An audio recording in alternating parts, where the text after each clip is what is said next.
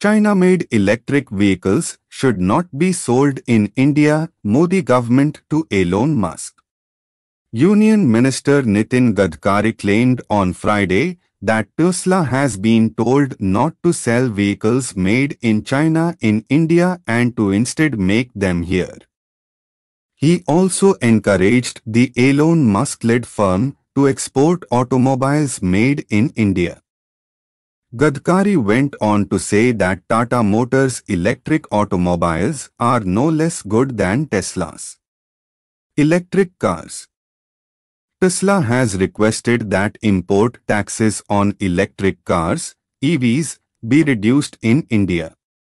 I have told Tesla that you don't sell electric cars in India that your company has manufactured in China you should make electric cars in India and also export cars from India, he said.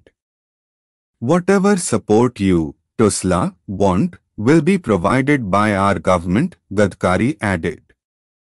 Tesla has urged the government to standardize EV pricing and remove the social welfare surcharge placed on them claiming that it would help the country's EV ecosystem without jeopardizing local interests.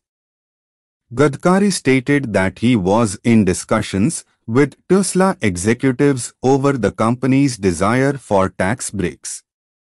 Last month, the union minister demanded that Tesla begin manufacturing in India before any tax breaks could be considered the Indian government imposes a 100% import tariff on vehicles, whereas fully built units, CBUs, are subject to a customs duty ranging from 60% to 100% depending on engine size and cost, insurance and freight, CIF, value less or greater than $40,000.